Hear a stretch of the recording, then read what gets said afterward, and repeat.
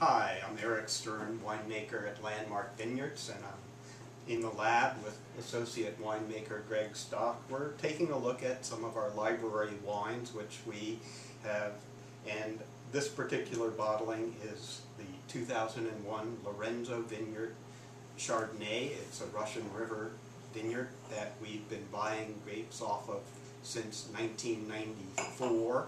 It has a distinct characteristic due to its high clay content soils. It's always been one of the most distinctive vineyards due to that aspect of the grape growing there.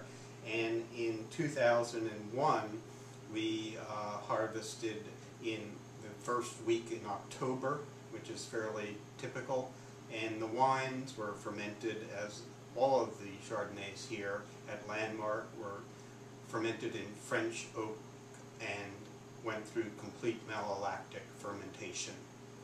The wine has been in the bottle now for seven years. It was bottled in January of 2003 and to my uh, amazement it's still tasting fresh, young and has uh, several years of additional life ahead of it. Maybe Greg you can talk about the current uh, flavor characteristic of the wine.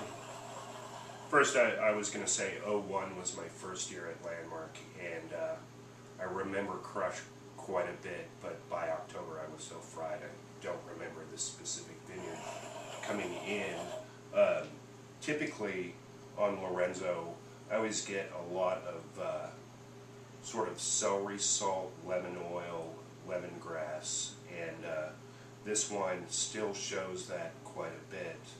Um, but in the mouth I'm also getting like sort of an apricot marmalade flavor to it. And I, I think it's holding up great. I, I mean, it's probably peaking now and probably will last three or four more years.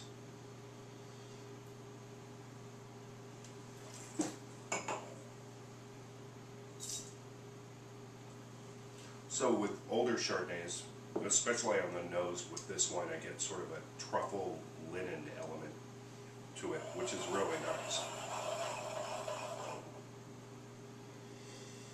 You know, it just goes to show that California Chardonnay really can age uh, if the vineyard, if the vineyard is a good vineyard, and this vineyard is, uh, well, now it's over 30 years old. It would have been, what, like 20, in its 25. 25 Yeah. or so this time. And I think uh, the vine age really helps to make a wine that, that ages.